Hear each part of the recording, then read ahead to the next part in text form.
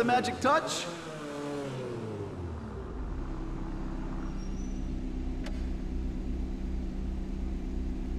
You have any problems, you bring her back to me.